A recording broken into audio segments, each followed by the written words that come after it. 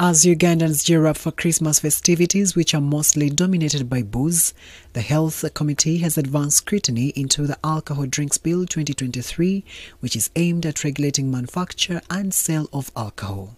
Today, the committee was interfaced by addiction experts from the Addiction Prevention and Rehabilitation Association of Uganda, who submitted that the government should treat alcoholism as a brain disease. There is no respect of persons. If we do not push this bill, then we are leaving our future exposed. Even ourselves. Anyone and everyone is a potential victim. It progresses for some people into very devastating illness. And uh, one is unable to discern when it's an invisible line that people cross.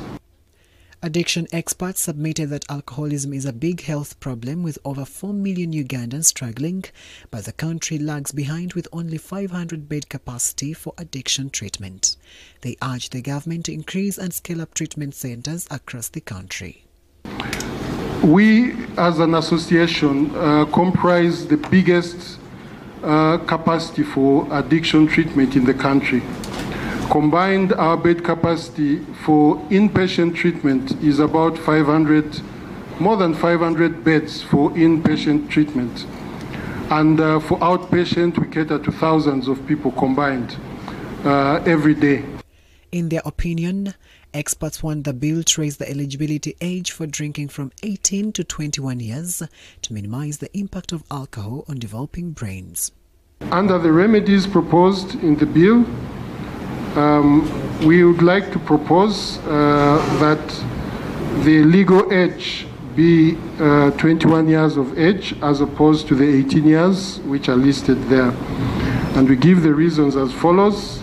Uh, that the legal, setting the legal age at 21 years is a public health measure. They argued that delaying young people from accessing alcohol use will have a positive impact on education since alcoholism is blamed for contributing to high school dropouts. And therefore, uh, putting uh, the lowering the limit to 18 years old or keeping it at 18 years old would have adverse effects to that section of people of the population who are between 18 and 21 years of age. They also seek for a clause to ban use of alcohol as a prize at public functions and also seek for a provision to ban use of alcohol drinks as prizes at public functions. Uh, a provision to ban the use of alcoholic drinks as a prize at any public function or competition. We know it's very common to, to find alcohol being presented as a prize in these uh, activities, whether they are fun, recreational activities, or even more, uh, more serious official occasions. To ease the enforcement of the law, experts want the law to create the National Alcohol Control Board and the Alcoholics Drinks Control Fund.